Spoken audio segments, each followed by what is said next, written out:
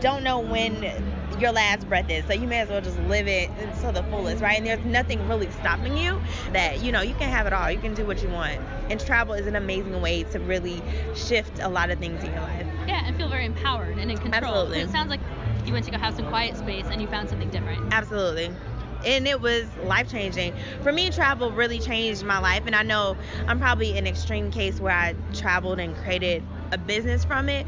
But outside of just creating a business, it really taught me to be relentless and fearless and fierce in everything that I do.